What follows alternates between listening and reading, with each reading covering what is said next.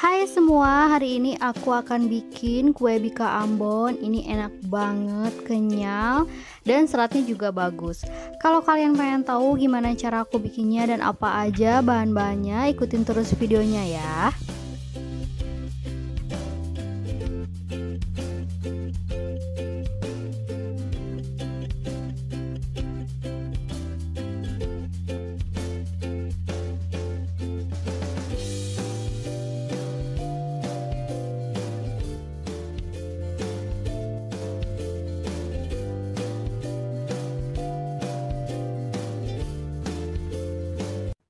Untuk bahan-bahan bika ambon dibagi menjadi tiga bagian, yaitu bahan utama, bahan biang, dan bahan santan.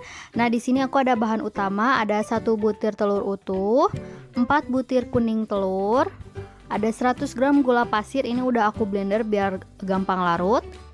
Lalu di sini ada 60 gram tepung tapioka, ada vanili dan seperempat sendok teh garam.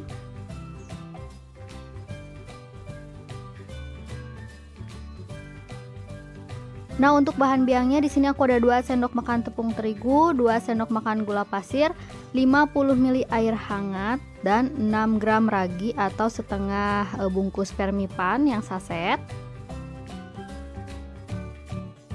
Nah, ini bahan santannya ada 3 lembar daun jeruk, 2 lembar daun pandan dan serai yang udah digeprek. Lalu ada setengah sendok teh e, kunyit bubuk dan 250 ml santan. Pertama-tama aku akan olah dulu bahan santannya. Masukkan santan, kunyit bubuk, masukkan serai, daun jeruk. Daun jeruknya disobek-sobek biar wangi. Daun pandannya juga aku potong-potong. Sekarang aku akan nyalakan apinya. Ini masak pakai api kecil aja. Kita masak sambil diaduk-aduk sampai santannya mendidih.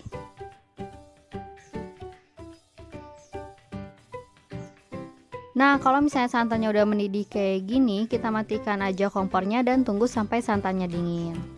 Sekarang kita bikin bahan biangnya, masukkan terigu, gula pasir,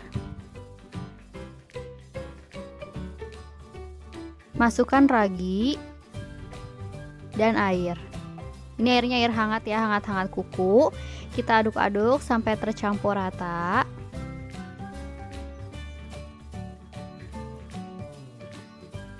Lalu kita tutup dan diamkan kurang lebih 15 menit. Sekarang kita bikin untuk bahan utamanya, masukin 4 kuning telur.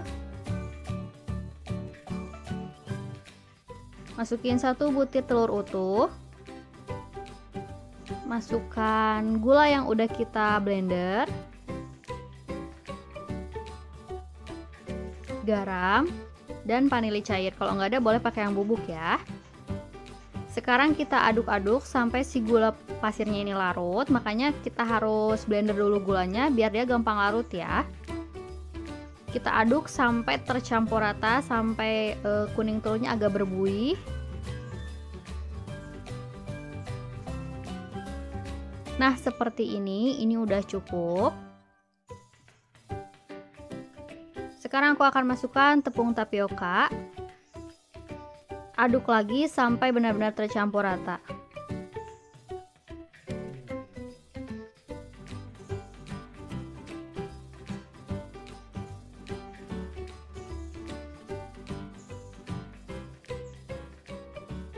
Sekarang masukkan bahan biang yang tadi udah kita diamkan 15 menit. Ini bahan biangnya udah berbuih. Tandanya raginya masih aktif ya. Kita aduk lagi.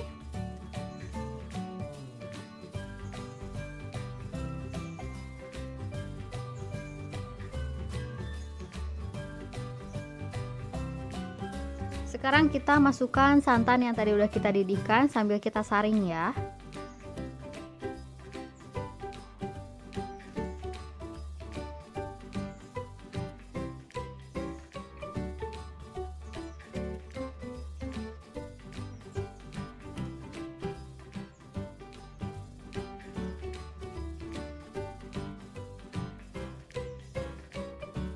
Sekarang kita aduk lagi sampai tercampur rata.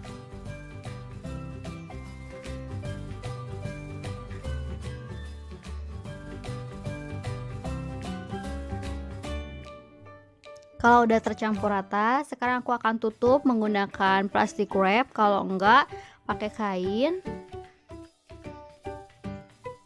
Di sini aku pakai plastik dan kain. Lalu kita akan diamkan kurang lebih 3 jam ya. Nah ini udah 3 jam, kita buka aja kain dan plastiknya. Nah ini adonannya berbuih seperti ini.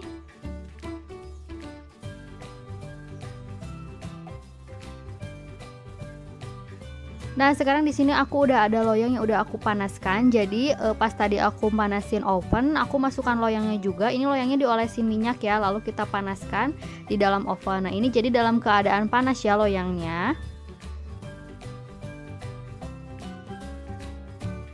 Lalu kita aduk dulu sebentar bahan bika ambonnya. Pelan-pelan aja. Lalu masukkan ke dalam loyang yang panas.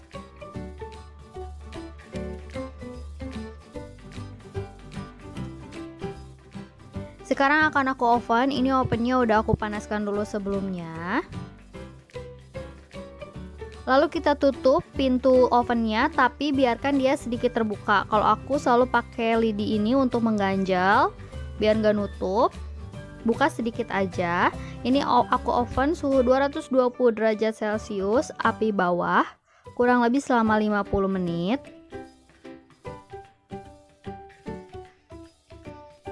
Kalau misalnya udah 50 menit, aku pindahkan jadi api atas bawah dan aku oven kurang lebih 10 menit atau sesuaikan dengan oven kalian masing-masing ya.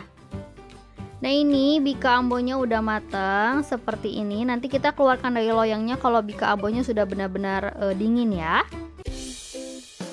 Nah ini dia bika ambonya udah jadi. Jangan lupa like kalau kalian suka sama video ini. Jangan lupa juga subscribe buat kalian yang belum subscribe. Makasih.